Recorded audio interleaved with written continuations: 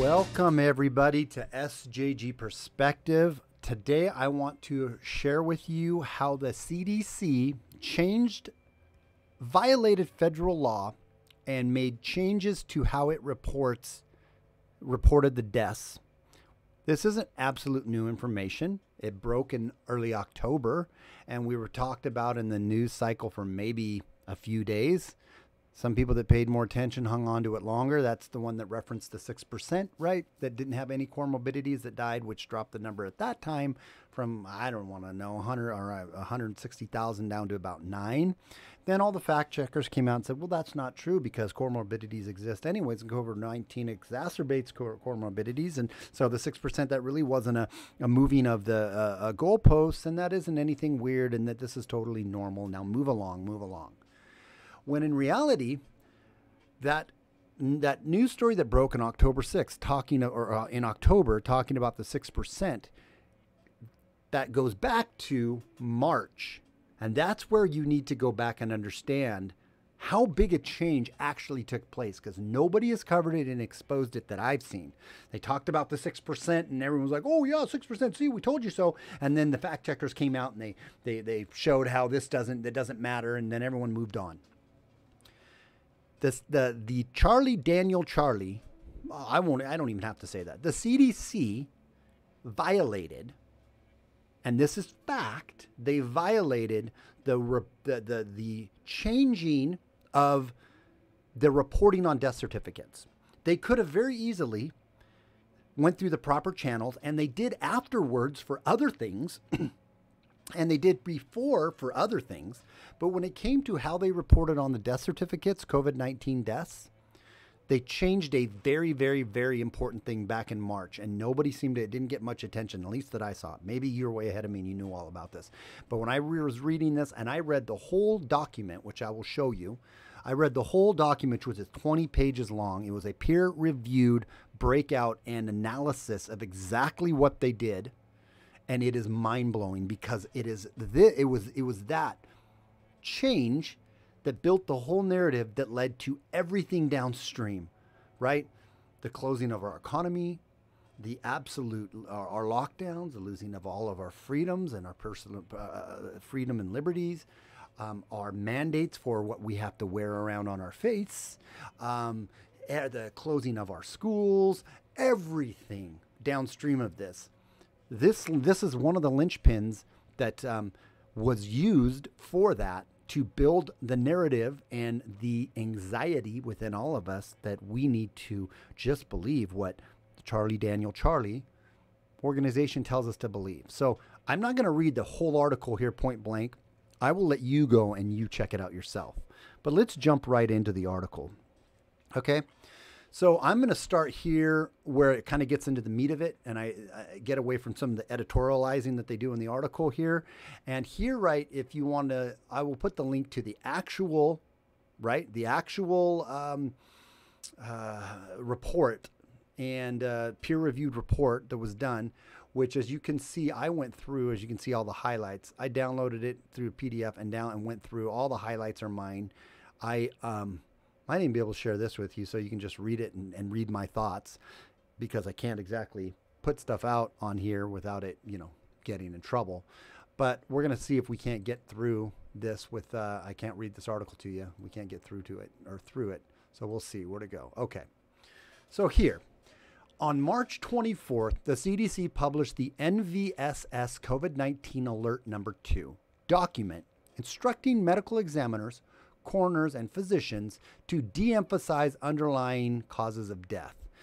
I just want to say before I read on further here, I am not going to editorialize a whole lot on this. I am just going to present the facts as they are. I want you to go and read this article. I want you guys to go understand this in depthly what they actually did, not just what happened with in October 6th when the, the news came out about the 6%, but how they how they what they violated, what they ignored, and how nobody pushed back on them and nobody called them out. And to this day, they have not had to answer for it. Okay?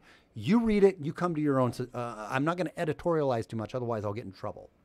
I'm just going to read what the facts are.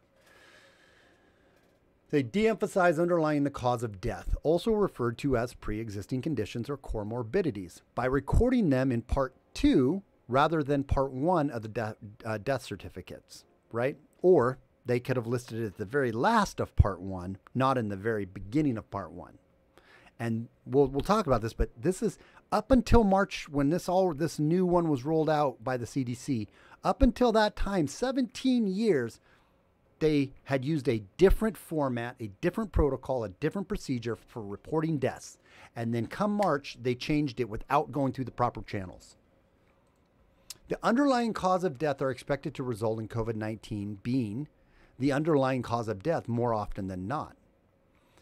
This was a major rule change for death certificates reporting from CDC's 2003 Coroner's Handbook on Death Registration and Fetal Death Reporting and Physician's Handbook on Medical certi- uh, Certifications of Death, which have instructed death reporting professionals nationwide to report underlying conditions in Part 1 for the previous 17 years.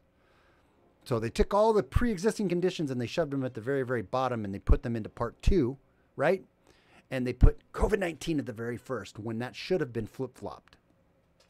This single change resulted in a significant inflation of COVID 19 fatalities by instructing the COVID 19 be listed in Part 1 of the death certificate as a definitive cause of death, regardless of confirmatory evidence, rather than listed in Part 2 as a contributor to death in the presence of pre existing conditions, as would have been done using the 2003 guidelines.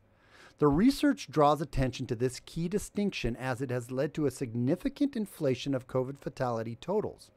By researcher estimates, COVID 19 recorded fatalities are inflated nationwide by as much as 1,600% above what they would have been. The CD, what they would have been had the CDC used the 2003 handbooks stated on all concerned citizens. Then, on April 14th, the CDC adopted additional rules exclusive for the COVID 19 in violation of federal law by outsourcing data collection rule development to the Council of State and Territorial Epidemiologists, a nonprofit entity, again without applying for oversight and opening opportunities for public scientific review. On April 5th, the CSTE published a position paper, Standardized Surveillance Case Definition and National Notification for 2019 Novel Coronavirus Disease, listing five CDC employees as subject matter experts. If that is not the fox guarding the henhouse, I do not know what is. This key document created new rules for counting probable cases as actual cases without definitive proof of infection section V or section, what is that, 5? 7.A1, pages 4 and 5. New rules for contact tracing allowed contact tracers to practice medicine without a license, section 7.A3, page 5 and yet refused to define new rules ensuring that the same person could not be counted multiple times as a new case. Section 7b, page 7 stated all concerned citizens. Now, all of this is again listed in over here, right, in this white paper, right, this peer reviewed white paper. It's all very clearly listed over there, and I want you guys to read it. It's important, if nothing else, for your own mind. By enacting these new rules exclusively for COVID 19 in violation of federal law, the research alleges that the CDC significantly inflated data that has been used by elected officials and public health officials in conjunction with unproven projection models from the Institute of Health Metrics and Evaluation. Remember that uh, with, uh, um, forgot the guy's name right now, but the one that came out of like London, I believe it was. That might not have been the one that came out of London, but you you know which one I'm talking about. To justify extended, I think it was actually, to justify extended closures for schools, places of worship, entertainment, small businesses, leading to uh, unprecedented emotional and economic hardships nationwide, which are we are seeing expanded and grow, growing more to where you even now have to wear two. Right, whenever you go outside, they're saying that you don't have to, but they're pushing that. They're pushing that we're all gonna have the, you know, real soon and that's all going to be great and everything will be totally fine even though that doesn't give you any kind of immunity all right They're pushing the the the, the continuing to push uh, the LDs, right? Keeping you in your homes, uh, uh, school closures, so on and so forth. All of this is happening, and and and it's primarily being pushed because we have so been absolutely lied to about what the actual numbers are because they changed the standard of what they used for 17 years to report deaths on the certificates, death certificates. For since 2003, they used this all the way up until 2020 in March. And there is a process to which you make an application. If you want to change that and you want to edit it and you want to change the way it is reported to death certificates there's a process you go through right? And you you um, go through this real quickly by um, right up here all federal agencies, including the Centers for Disease, Control and Prevention, are lawfully required to comply with the Paperwork Reduction Act, the PRA, and the Information Quality Act, the IQA.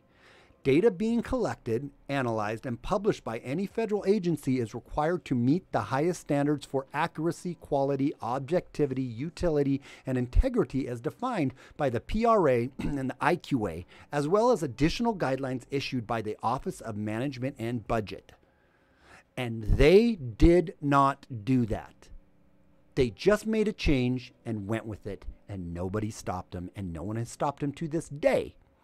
So, we could argue all day long about with fact checkers on Facebook and in uh, other places about the 6% number that came out in October and then got swept under the rug, debunked by Fauci himself, and so on and so forth. We could argue about that. Or we could go back and say, why didn't the CDC use the same guidelines they had used for 17 years prior? And how does has no one held them in violation of changing these guidelines without going through the proper channels? Because that is exactly what has happened. Okay, so mm, there we go. I would love each of you guys if you care about, uh, you know, really um, educating yourself on this. I will put these links in my description. I encourage you guys to go and to watch or to read this the, the this paper, this uh, peer-reviewed paper, it explains it in clear, clear detail several times, and lays it out. And it'll take you 25, 30 minutes to read it, right? Maybe even an hour to really digest it. But when you do, you will understand just where the seedling was, how it was planted. And, and I really do feel like this is one of the major major linchpins to the whole car house of cards falling had it been followed and it wasn't by our yeah, by the CDC. So, please give me your thoughts below. I'd love to hear them. I thrive. I um, if you got mean comments, that's okay. I don't care. And uh, good comments, it'd be great too. I will be putting up some new videos, finishing uh, my or doing my next episode on wagging the moon doggy, and then I'm thinking about doing a long form description on this one and going through the paper. It would take a series, but uh, give me your thoughts below if you would like me to go through this whole thing, you know, and, and do it on like a four or five part series, break it up, then uh, I'll do it. I'll read the whole thing and we'll go through it line by line. It's very, very educational, but I really feel like we all need to understand it. Um, because it's more th- it's more than to know just what they're doing. You need to be able to have an intelligent conversation with somebody that is factually backed up with documentation of how, just exactly how, right? if we want to start to get people woke up a little bit. And we have to keep trying to wake people up little by little. And man, we are losing our time to do that. Our country is already in the toilet. We need to try to reach our neighbors and our family and our community, those around us, right, with truth. Wake them up. That is what my goal is in doing this. So let me know what your thoughts are. Until next time, it's SJG Perspective. We'll talk to you real soon and uh, look forward to seeing some new promos I'm putting out with some friends of mine. Janky Jackson, um, Stoner Joe, and Alfie Weinstein. So, Weinstein. So, um, you guys will appreciate them. So, we'll talk to you soon. Have a great day. Without further animus, it's SJG Perspective. Bye.